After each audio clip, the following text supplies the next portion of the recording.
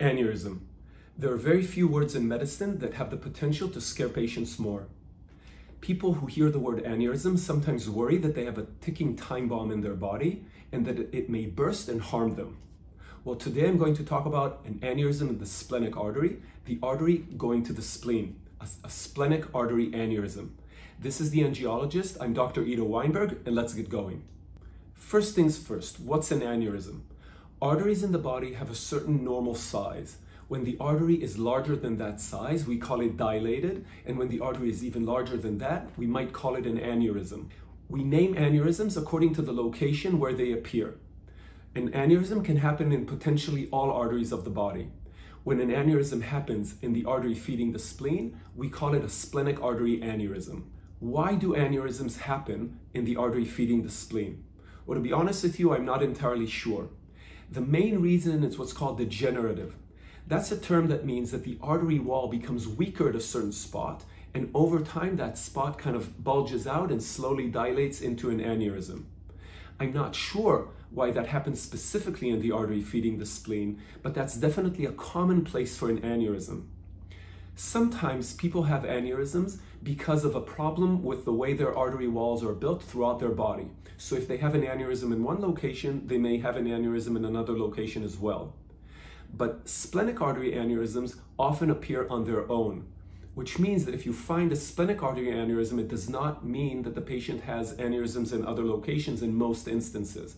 So usually it is not part of a syndrome, but sort of a standalone problem because of weakening of the artery. Why should we care about aneurysms in the artery feeding the spleen? Like a balloon, as an aneurysm grows, it may rupture.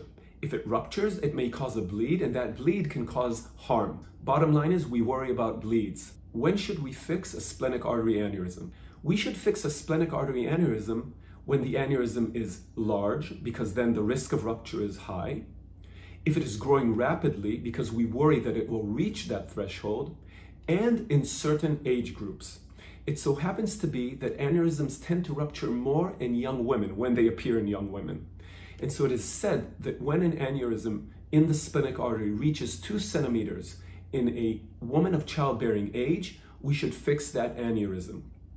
Of course, sometimes we'll fix an aneurysm in an older person or in men, again, depending on the growth rate and depending on the absolute size of the aneurysm. But there's more to think about. One thing to think about is calcifications or calcium in the, in the aneurysm wall. The same calcium that we can find in our bones that makes our bones uh, tough and hard can also deposit in the aneurysm walls. If we see a ring of calcium in an aneurysm wall, it tells us that the aneurysm is slow growing and like a shell, it kind of keeps the aneurysm stable and we believe that the risk of rupture is lower. So if we see calcifications in an aneurysm, we oftentimes will kind of think of it as a sign that helps us not uh, offer treatment for that aneurysm.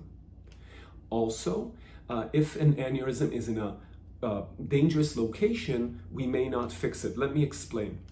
In order to, when we fix an aneurysm, we take risk because actually doing the procedure carries risk. We may harm the patient during the procedure, and fixing the aneurysm may inadvertently harm the spleen because the blood flowing to the spleen may go through the aneurysm. So, if we're blocking blood flow to the aneurysm when we're trying to fix it, we may be blocking blood flow to the spleen itself. So if the aneurysm is located in such a way that increases the risk of these harms, we may shy away from treatment. If an aneurysm is easier to fix, it will be easier for us to offer intervention. So just to summarize this part, we typically offer a treatment for splenic artery aneurysms when the aneurysms are large, when they're growing rapidly, when they're in younger women, when there are no calcifications, and when fixing the aneurysm is relatively safe. How do we fix a splenic artery aneurysm? In modern times, the most common way to fix an, uh, an aneurysm going to the spleen is uh, by uh, uh a catheter and wire and plugging the aneurysm. Basically, that means that you can find the aneurysm from the inside and then inject it with these little coils that effectively plug it. If the aneurysm is plugged, then blood isn't flowing through that segment of the aneurysm, and so the aneurysm can't rupture. A second way would be to cover the aneurysm with a special stent, a little fence that has a special cloth around it. So if we cover the aneurysm that way, again, we kind of divert blood flow through the stent and the blood is not flowing into the aneurysm. So again, it can't rupture. Sometimes the only way to fix a splenic artery aneurysm is with open surgery. That's not done often nowadays, but it's definitely an option on the table. The most common treatment in air quotes that we will offer patients with splenic artery aneurysms is going to be surveillance.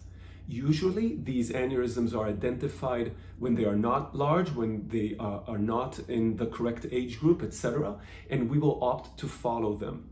We'll offer a patient repeat scans to make sure the aneurysm isn't growing to a dangerous size.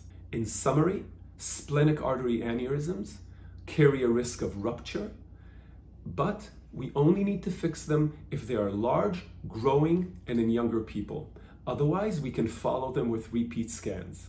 I hope you found this video useful. Please do comment because when you do, I understand what it is you want to know and I love answering your questions.